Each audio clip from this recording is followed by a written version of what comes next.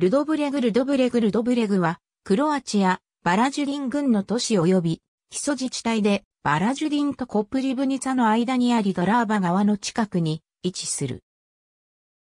2001年の国勢調査による人口は、ルドブレグ市街が3465人で、基礎自治体全体では8668人であった。ルドブレグは何？世紀にもわたり、巡礼の場所として著名である。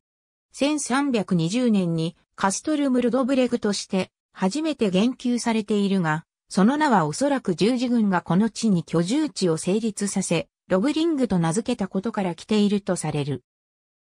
町が有名になったのは1411年に城の境界で生産の奇跡が起こってからで、1513年にローマ教皇レオ10世により認められている。改装されたバッチャー2条は修復のワークショップとしてよく知られている。